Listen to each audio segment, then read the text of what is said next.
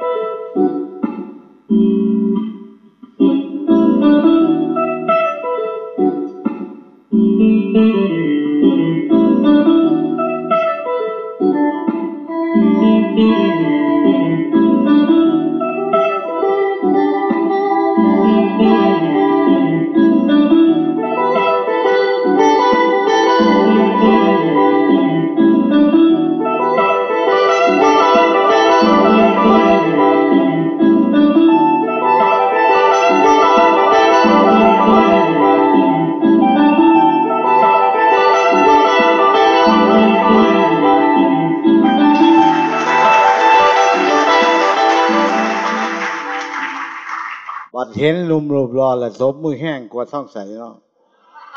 ก็จะน้อยใจเนาะเอออะ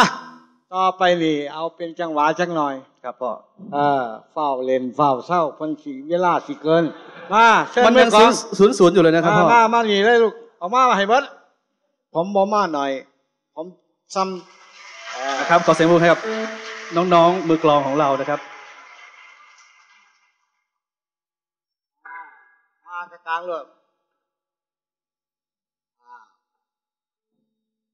ลงศูนย์ได้เลูกเด้อเริ่มเอาเอ้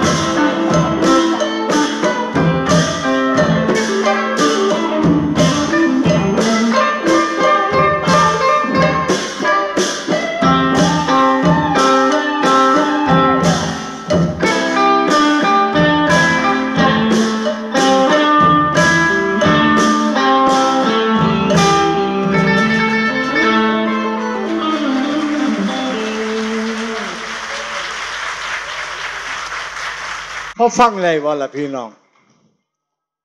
เออเห็นเพิ่นยกมือขึ้นมาฟอนเลยนะเอออยู่บนบาลูก อยู่ที่ไหนละใหญ่ผมหมอไทยหลาย